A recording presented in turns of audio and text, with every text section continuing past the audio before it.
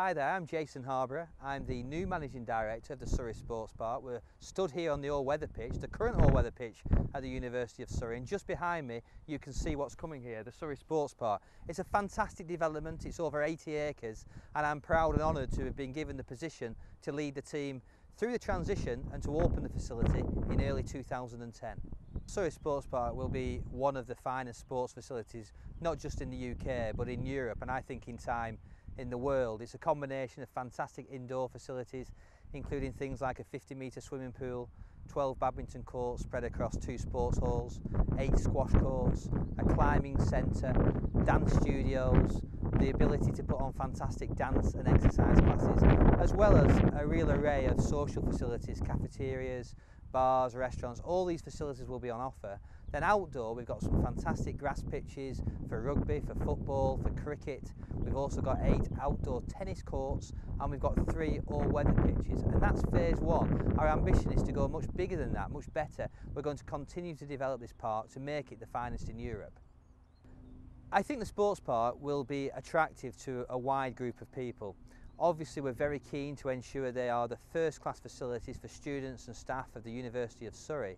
But importantly, it will also be a facility that the people of Guildford and Surrey as a whole can use. We also have ambitions that it will be a venue for elite athletes from all over the UK and indeed from all over the world. We're in a fantastic position in relation to its location and the timing of the opening of the facility because just around the corner is the London 2012 Olympics and this will be a venue, I'm sure, which will attract the best athletes on the lead up to that event and beyond and that gives us a fantastic legacy opportunity.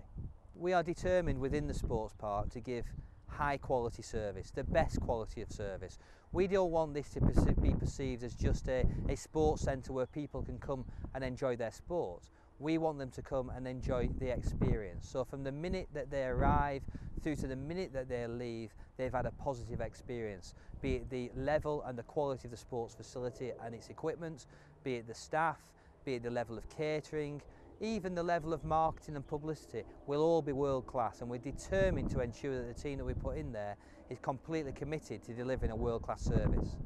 We are going to be starting very soon a very high profile public relations and marketing campaign but the best place to stay in touch at the moment with everything that's happening at Surrey Sports Park is the website and the website's the place to go to it's www.surreysportspark.co.uk We've also got a Facebook site as well where you can stay in touch. You can interact with us on Facebook, so any questions, any comments, any suggestions, Facebook's a great place for that and that's instant as well. Every time we take a new photograph or a new video of the site it instantly goes up on Facebook.